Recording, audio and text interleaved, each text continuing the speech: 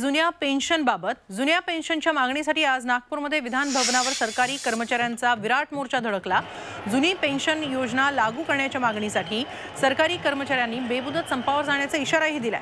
दरम्यान विधानसभा निवडणुकीपूर्वी सरकार जुन्या पेन्शनबाबत निर्णय घेईल अशी घोषणा विधान परिषदेमध्ये उपमुख्यमंत्री अजित पवारांनी केली. तर सरकार जुन्या पेन्शनबाबत सकारात्मकतेनं पुढे जात आहे त्यामुळे कर्मचाऱ्यांनी संपावर जाऊ नये असं आवाहन देवेंद्र फडणवीसांनी केलं. सरकार सकारात्मक आहे. तो निर्णय येईपर्यंत ते पण आपण बघू हेही आपण बघू. आणि कपिल पाटील आम्ही तुम्हाला सांगतो हे सरकार मजबूत बहुमताचं सरकार आहे. लोकसभेच्या निवडणुकीची तुम्ही काही चिंता करू नका. ती झाल्यानंतर सहा महिन्यांनी पाच महिन्यांनी आपली निवडणूक आहे. मी सभागृहाला आश्वस्त करतो यांच्या साक्षीनं लोक विधानसभेची निवडणूक लागायच्या आधी ह्या पेन्शन जुन्या पेन्शनच्या संदर्भामध्ये निश्चितपणे हे सरकार निर्णय घेईल.